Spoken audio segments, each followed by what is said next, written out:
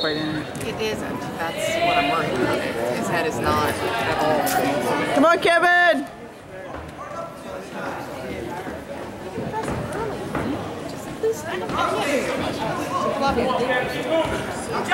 Come on, Kevin!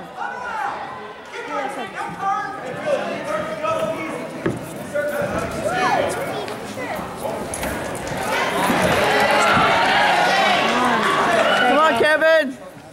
They only have four